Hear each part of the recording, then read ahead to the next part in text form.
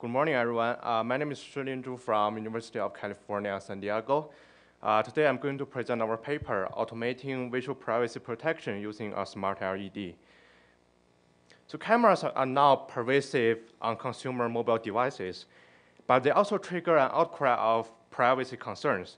A visual privacy is gaining more and more concern in people's daily lives, such as in our homes, locker rooms, uh, museums, hospitals, uh, trade shows, etc. Sometimes people or objects are uh, unexpectedly being photographed, and they don't want others to share or distribute the photos. But in most cases, they don't know how to deal with it, and the only way is to hide the sensitive object. Uh, the sensitive object.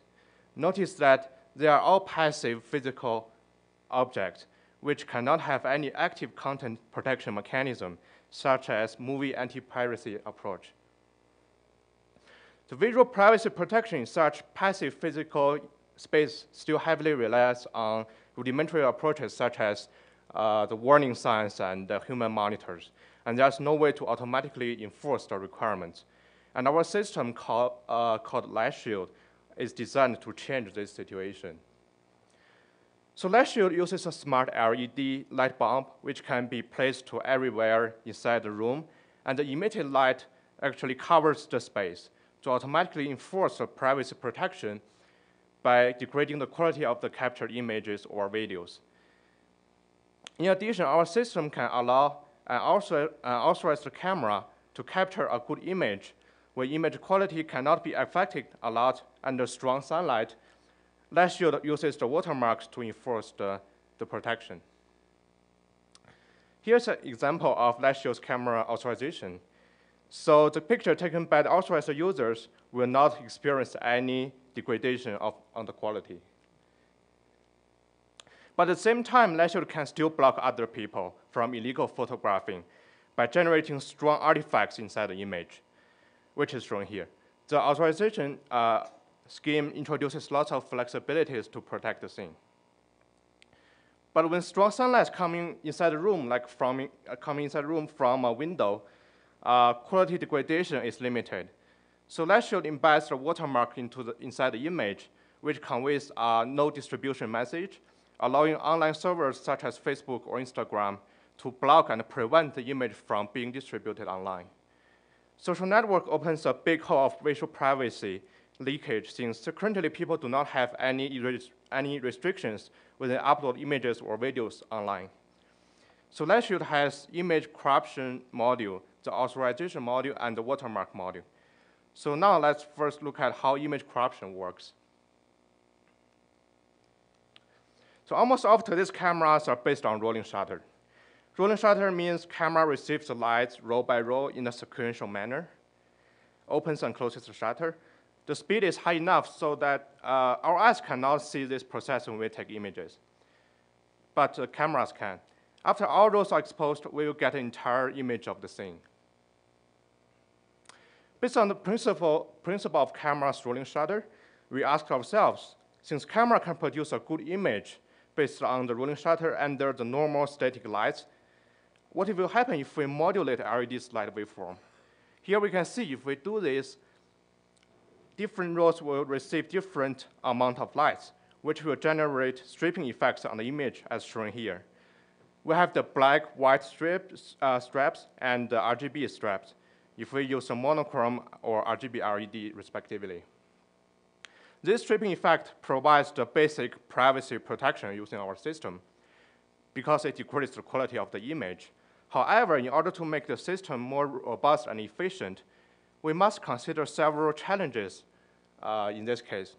Such cases will get our light waveform design.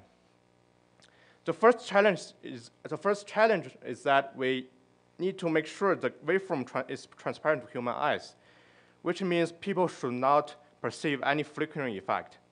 Achieving this goal can make our system realize automatic visual privacy protection. Human eyes ac accumulate an average amount of light received in a time duration, and that's why we can only perceive the low frequency process in the world. More specifically, we cannot perceive the light flickering with frequency larger than 100 hertz.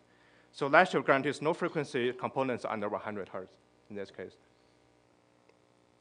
We further notice that a simple waveform with only a single frequency does not suffice to make system robust. The stripping effect is a good way to protect the thing, but there's an exception. If the duration of the LED waveform equals to the exposure time, then each row will receive exactly the same amount of light. So the straps will be removed. This is not good since we don't want attackers to bypass our protection. Since single frequency cannot ensure the protection, it is straightforward to use multiple frequencies. That should guarantees there are at least two types of strips with different uh, frequencies within each frame. And since a single exposure time can only remove straps with a single frequency, there's no way to bypass our protection anymore in this case. However, attacker can also take a video which contains many images called frames. Having multiple frames makes the attacker have more chance to recover the scene by, combine, by combining their clean parts together. LiShield cannot completely, completely prevent such attack, but we further scramble the waveform's intensity to largely increase the amount of frames needed by the attacker for successful recovery. It is, based, it is because illegal attackers should guarantee that the correct exposure of each row and the scrambling, scrambling waveform will just make that difficult. Also, the attacker needs to make the camera completely stable for a very long time, which is not viable in most privacy-related applications. Moreover, note that recording video is useless under dynamic scene since, since the scene is uh, since the scene will keep changing. For now, we discussed about how LiShield crops the image. But sometimes we also want to allow some specific users to take good image at the same time. So like other authorization schemes, our system needs some negotiation between the LED and the authorized users. The basic principle here is to share the waveform information with the authorized users via a secure side channel. Once the authorized user obtains the waveform, she synchronizes with the LED and recovers the scene based on the obtained light waveform. But there's a question, how can we just unblock one person while still blocking all the other people? So let's look at more details about this technique. To realize the authorization, LED generates a waveform which contains multiple frequencies. Authorized users has the information of this waveform, so she can choose, choose when each frame starts and ends to make sure that each frame only contains the one single frequency which is shown here. So she can set up the exposure time to remove the single frequency stripping effect as we uh, illustrated previously.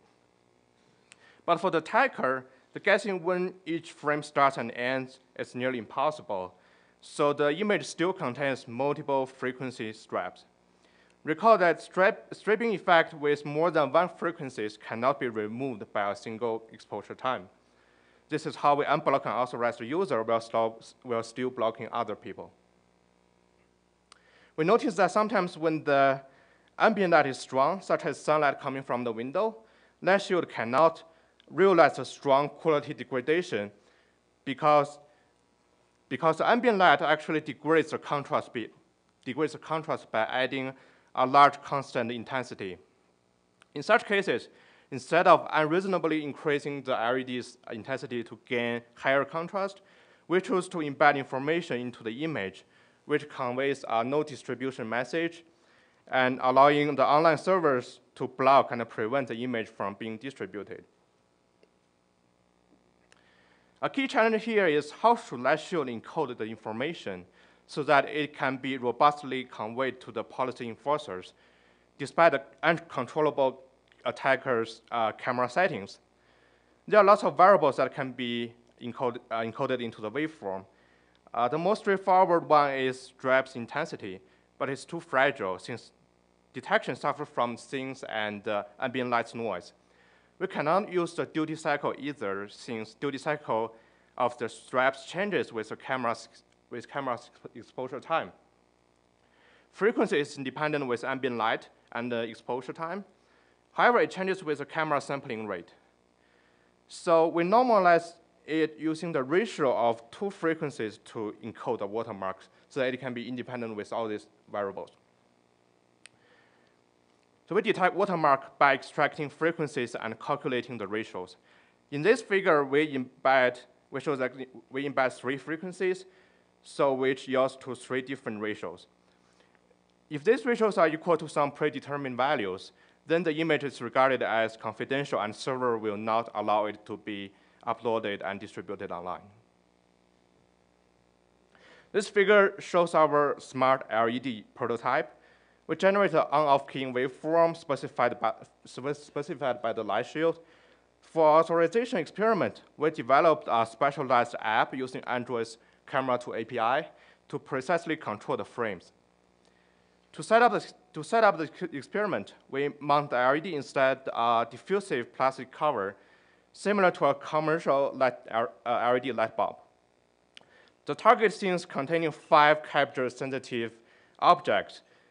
To analyze the results, we use three indicators.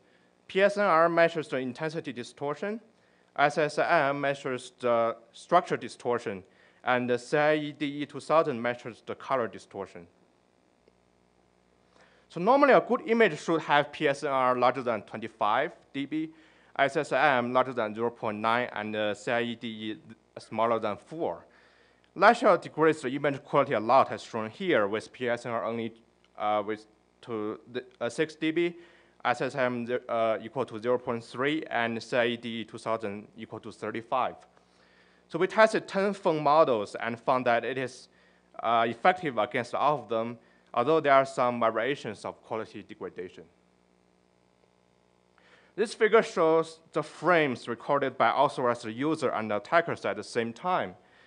The authorized user does not, does not experience any stripping effect, while attackers are still being blocked at the same time, having an obvious stripping effect as shown here. We embed black and white barcode as well as multicolor barcode. The false positive rate is smaller than 5%, and we found the detection rate can be larger than 90%. Uh, Attackers can remove some straps by manipulating camera exposures, but our system embeds multiple frequencies, so there are some redundancies to make it robust in this case. We also did a lot of experiments on LiShield's robustness, and please refer to the paper for more details about those graphs, figures. Uh, first, waveform scrambling successfully prevents possible recovery by the attackers, either with camera exposure manipulation or uh, the video taking. Next, the post-capture image repairing algorithms, can, like denoising, cannot re fully recover the scene since some information of the scene has already been lost. LiShield is also robust against the normal, normal ambient lights and also flashlights in your, on your camera. Uh, finally, LiShield overcomes long distances by placing multiple LEDs inside the room, such as we can replace the existing room lights. We also noticed the two side benefits. The automatic white balance cannot work under color strip, since it cannot find a good reference to white pixel. If the scene is dynamic, then the attacker can even have smaller space to manipulate the camera exposure because of motion blur. So to conclude, LiShield can protect people and passive objects automatically by making the capture recordings extremely unpleasant. It is lightweight, fast to set up, and cost-effective. We also successfully unblock specific users at the same time by designing a camera authorization scheme. For strong ambient light case, watermark can be embedded and detected by social network server to prevent illegal uh, image or video distribution. This is the end of my talk, and thanks for attention.